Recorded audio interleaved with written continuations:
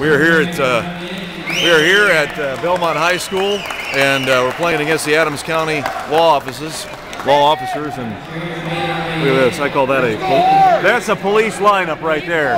Look at that. There's a police lineup for you. There they are. There they are.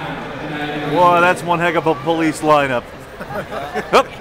Hup. Which one doesn't belong? He's, he's a county sheriff. Yeah, okay, you're just out of uniform, aren't you? Yeah, just a little bit. Okay, all right.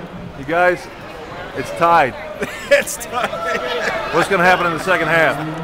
More just like the first. Yeah, okay. We have to call this. Uh, it, it'll be a silence crime. in a while. It'll be a crime if you win. I just want you to know that. Stop consorting with the enemy. What? It's a police lineup.